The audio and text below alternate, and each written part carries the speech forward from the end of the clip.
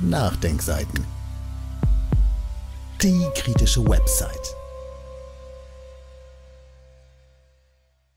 Kuba muss mit einem mörderischen Nachbarn zurechtkommen. Ein Artikel von Edgar Göll. Man stelle sich folgendes Szenario vor. An einem frühen Morgen steht ein Mann vor der US-Botschaft in Havanna, begießt eine mitgebrachte US-Flagge mit Brennstoff und versucht, sie zu verbrennen. Dann feuert er mit einem Schnellfeuergewehr 23 Schüsse auf die Botschaft der Vereinigten Staaten von Amerika. Nach seiner Festnahme gesteht er in einem Interview, er hätte selbstverständlich auch auf den Botschafter oder mehrere Menschen geschossen, wenn sie aus dem Gebäude gekommen wären. Nun, der in Anführungszeichen weltweite Aufschrei der US-Regierung wäre weithin hörbar gewesen. CNN und Co. hätten dies rund um die Uhr verbreitet, Kuba wäre scharf kritisiert und Sanktionen wären verhängt worden. Der kubanische Staat wäre verklagt worden, weil er die Unversehrtheit der Botschaft, also die Sicherheit des Territoriums, nicht gewährleistet hat. Aber die Realität war umgekehrt und eine völlig andere. Sie verlief folgendermaßen. Ein solcher terroristischer Angriff geschah an einer Hauptstraße in der Hauptstadt der USA, in Washington, D.C., auf die Botschaft der Republik Kuba.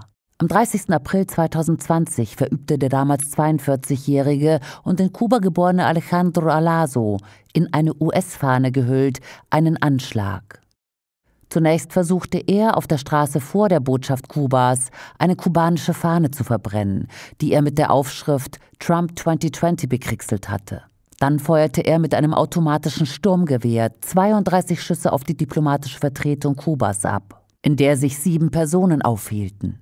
Die US-Behörden hatten ihm zuvor politisches Asyl gewährt. Nach seiner Festnahme ordnete der zuständige Richter Michael Harvey vom Bezirksgericht des Districts of Columbia die Inhaftierung des Täters an, weil dieser eine Gefahr für die Gesellschaft darstelle. Demgegenüber nahmen rechtsextreme exilkubanische Medien wie das in Miami publizierte Online-Portal ADN Cuba diesen offensichtlich gefährlichen Täter Alaso jedoch in Schutz. Er hatte vor seiner Tat direkte Verbindungen zu rechten Exilkubanern vor Ort aufgenommen. Sie behaupteten, dass er geistig verwirrt und deshalb schuldunfähig sei.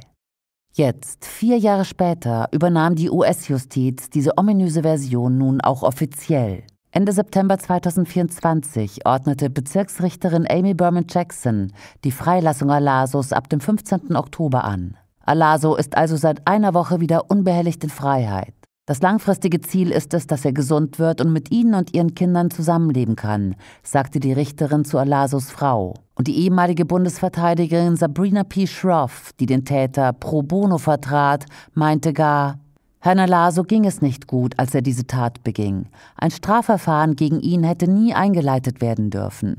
Solange er behandelt wird, ist Herr Alaso für niemanden eine Gefahr, zitierte die Washington Post sie dazu. Kubas klare Reaktion. Daraufhin warf das kubanische Außenministerium der US-Regierung vor, wieder einmal ein toleranter Komplize von Terrorismus und Gewalttaten gegen Kuba zu sein. Der Anschlag auf einer zentralen Straße der US-Hauptstadt gegen einen diplomatischen Sitz würde in jedem anderen Land als terroristischer Akt eingestuft werden, heißt es in einer am 4. Oktober veröffentlichten Erklärung. Die US-Regierung habe sich aber geweigert, diese Tat als Terroranschlag einzustufen und hatte offensichtlich zu keinem Zeitpunkt die Absicht, den Täter als Terroristen zu verfolgen, obwohl dessen Handlungen gemäß der US-Gesetze ausdrücklich so bezeichnet werden. Außerdem hätten die Justizbehörden Beweise für Alasos Verbindungen zu Gruppen mit Sitz in Südflorida, die mehrfach aggressiv gegen Kuba vorgegangen waren und Gewalt und Terrorismus gefördert hätten, ignoriert. Das kubanische Ministerium für Auswärtige Angelegenheiten erinnert zudem daran, dass Kuba damit erneut und nachweislich ein Opfer des organisierten Terrorismus sei, der vom US-Territorium aus finanziert und ausgeführt werde. Die Gesamtzahl der Opfer durch die Terroranschläge und verdeckten Angriffe gegen das sozialistische Kuba seit 1959 werden mit 3478 kubanischen Todesopfern und 2099 behinderten und verletzten Kubanern angegeben. Wiederholt verlangte die kubanische Regierung von der US-Regierung ein ernsthaftes, verantwortungsvolles und ehrliches Verhalten, wenn ein Akt dieser Art gegen die kubanische Botschaft und das dort eingesetzte kubanische Personal begangen wird. Das aber blieb und bleibt ohne jegliche Resonanz. Besonders makaber kommt noch hinzu, dass die Protestnote Kubas zwei Tage vor dem Jahrestag des Terroranschlages auf ein ziviles kubanisches Verkehrsflugzeug vom 6. Oktober 1976 erfolgte. Im Auftrag der Ex-CIA-Agenten Luis Posada Carriles und Orlando Bosch hatten zwei venezolanische Söldner damals Sprengsätze im Cockpit der Maschine platziert. Sie wurden kurz nach dem Start in Barbados gezündet. Beim Absturz dieses zivilen Flugzeuges kamen 57 kubanische, fünf nordkoreanische und elf Passagiere aus Guayana ums Leben. Während dieser brutale Terroranschlag in den USA dem Land der Täter und anderen westlichen Staaten erfolgreich vergessen gemacht wird, können die Hinterbliebenen und Betroffenen diese Tragödie nicht verdrängen. Schlimm war, dass die dafür verantwortlichen Terroristen danach bis zu ihrem Tod unbehelligt in den USA lebten. So wurde an dem folgenden Sonntag der Opfer auf Veranstaltungen in Hauptstädten von Kuba, Barbados, Guayana sowie Trinidad und Tobago, also in Havanna, Bridgetown, Port of Spain und Georgetown gedacht. Im Rahmen dieser Gedenkfeierlichkeiten forderten die Außenminister Sandra Husbands von Barbados, Amy Brown aus Trinidad und Tobago und Hugh Todd von Guyana die USA darüber hinaus auf, Kuba endlich von ihrer Liste der angeblichen Sponsoren des Terrorismus zu streichen und die seit über 60 Jahren gegen die Bevölkerung des Inselstaates verhängten Wirtschafts-, Handels- und Finanzblockade zu beenden. Sie machten damit deutlich, dass solche Terroranschläge ein extremes Element der insgesamt kriminellen und terroristischen US-Politik gegen Kuba darstellen und all dies endlich beendet gehöre. Die US-Blockade als versuchter Völkermord gegen das kubanische Volk. Eine ähnlich klare Einschätzung, diesmal juristisch untermauert, kam vor knapp einem Jahr von einem internationalen Tribunal, das unter der Koordination des Völkerrechtlers Professor Norman Pech im Europäischen Parlament durchgeführt worden ist. In dem Urteil dieses Tribunals heißt es, die Blockade hat direkt und indirekt zum Verlust zahlreicher Menschenleben geführt.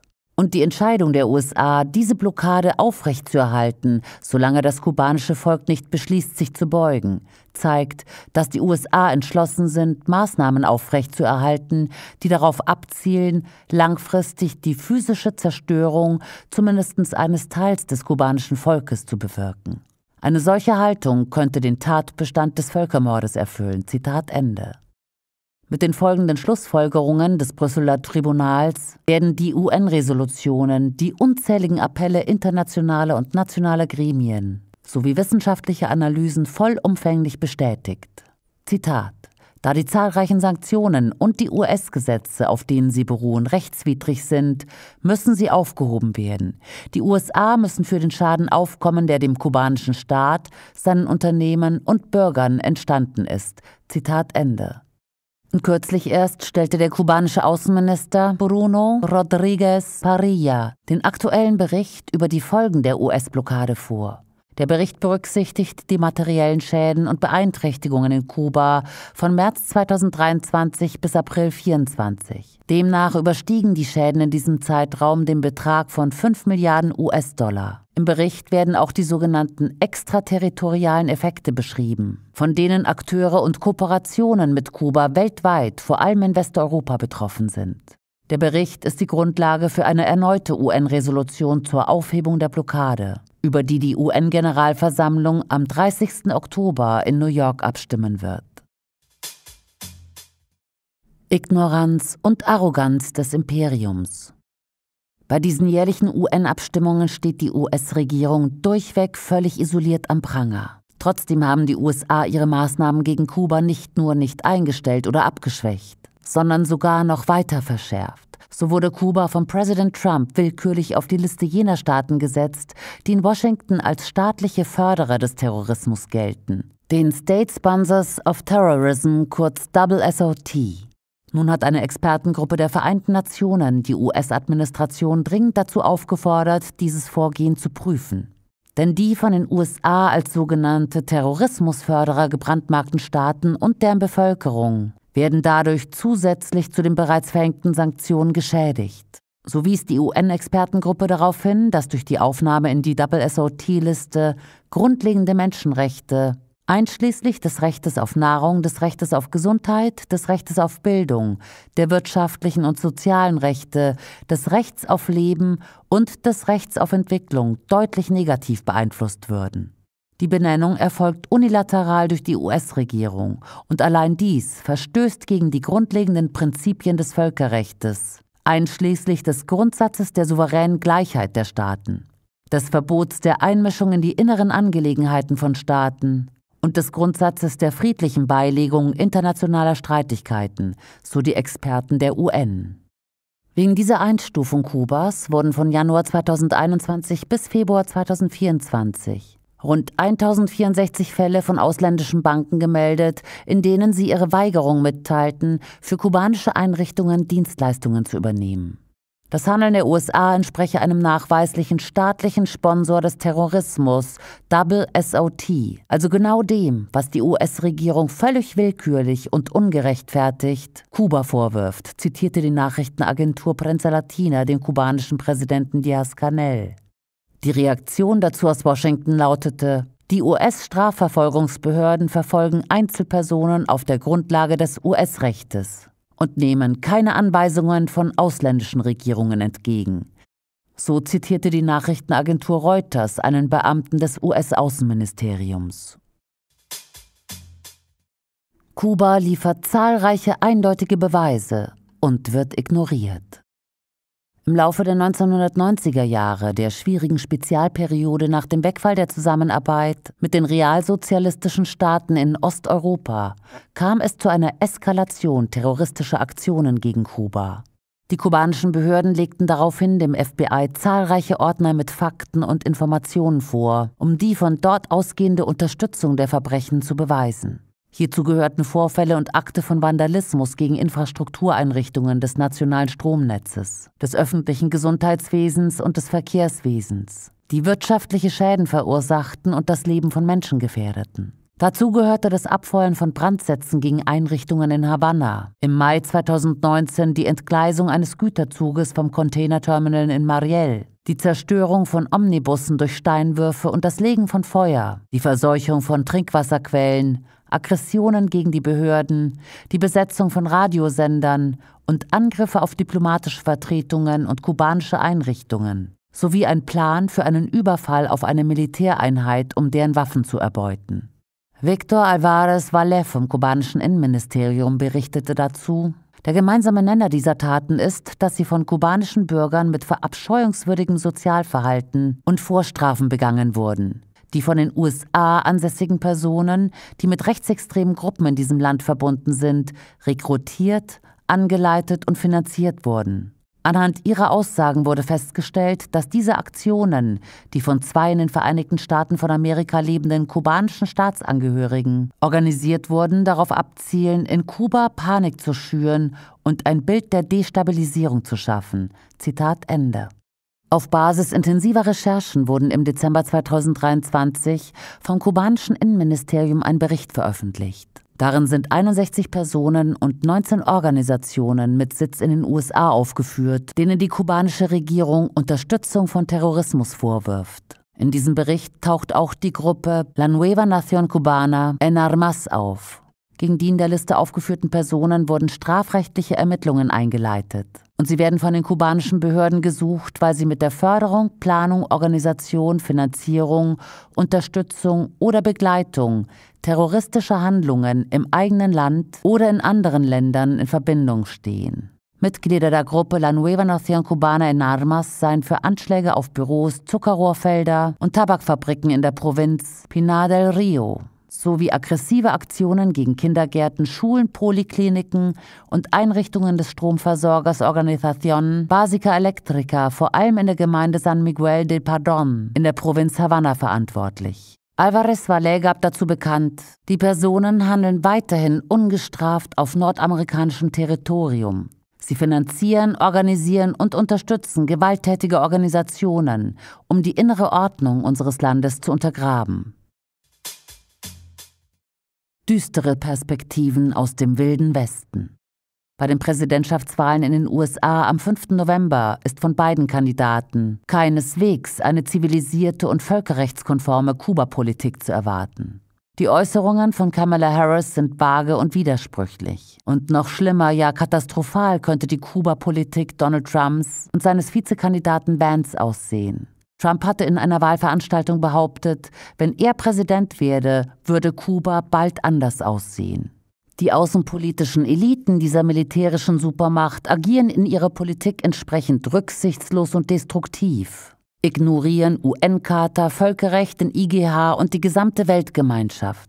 Hier sei nur an das zu einem rechtlosen barbarischen US-Folterlager umfunktionierte Hafengelände von Guantanamo mit bis zu 700 Internierten erinnert einem nach allgemeiner völkerrechtlicher Einschätzung seit 1902 vom US-Militär unrechtmäßig besetzten Territorium in Kuba. Kuba erleidet die Aggressionen und Verbrechen des Imperiums seit nunmehr 65 Jahren. Seit seiner erfolgreich gegen den US-gestützten Diktator Batista durchgeführten Revolution von 1959. Schon damals wurde eine noch heute gültige Parole bzw. Doktrin ausgegeben. So lautete der erste Satz des US-Invasionsplanes, der von US-Außen- und US-Verteidigungsministerium sowie CIA im Herbst 1959 vorgelegt und sowohl von US-Präsident Eisenhower als auch dem Nachfolger John F. Kennedy gebilligt wurde.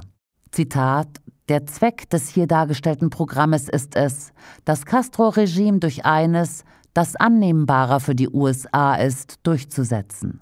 Und zwar auf eine solche Weise, die den Anschein einer US-Intervention vermeidet. Zitat Ende. Quellenangaben und weiterführende Verlinkungen finden Sie auf www.nachdenkseiten.de oder im Beschreibungstext unter dem YouTube-Podcast.